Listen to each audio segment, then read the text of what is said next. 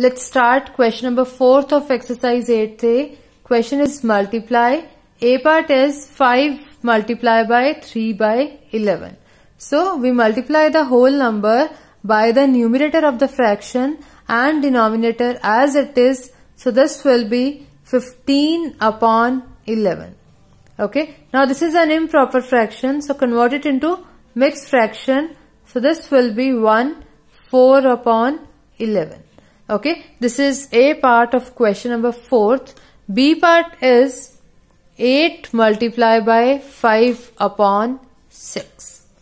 So, we will multiply the whole number by the numerator of the fraction and denominator as it is. So, this will be 8 5s are 40 upon 6.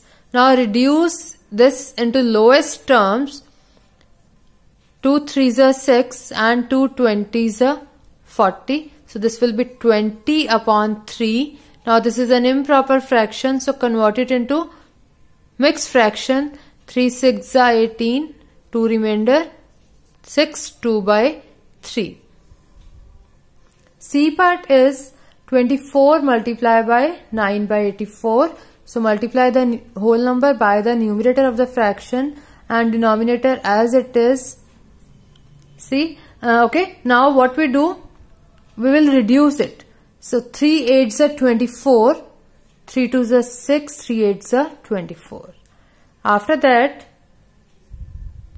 4 2s are 8 and 4 7s are 28.